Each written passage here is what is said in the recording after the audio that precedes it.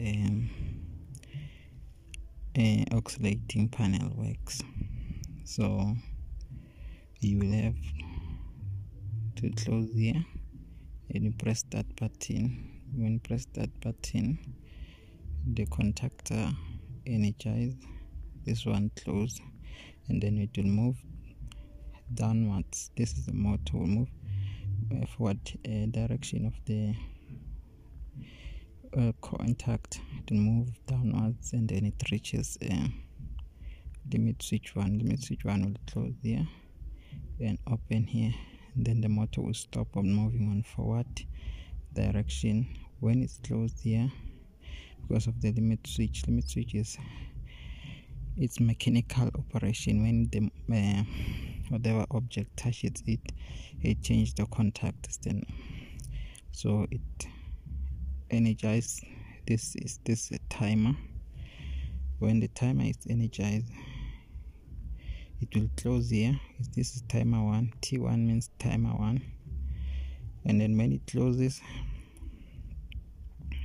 the current will go through this one and it will start to move forward. And then it will um, close here when it touches limit switch 2 and then it opens here and then the cycle continue.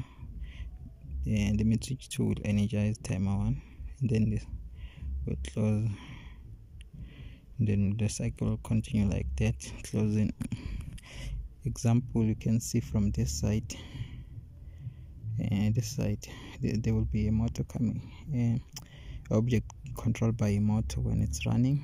It will go down and upwards this is our limit switch here limit switch to limit switch 1 then this represents the timer.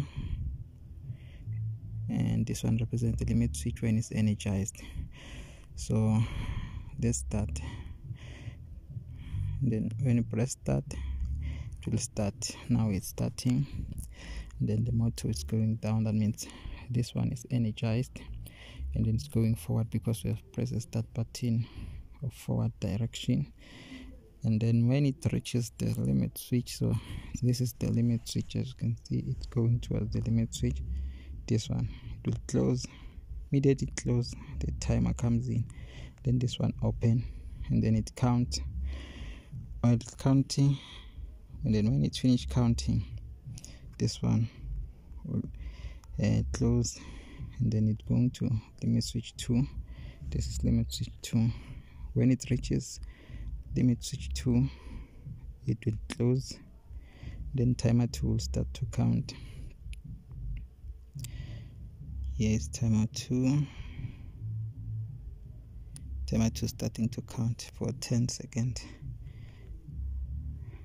Again when it finished counting it goes down.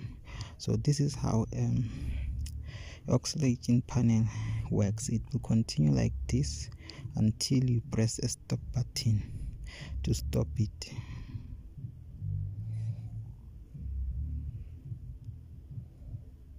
And that's it. Go upwards after finishing counting. And that's it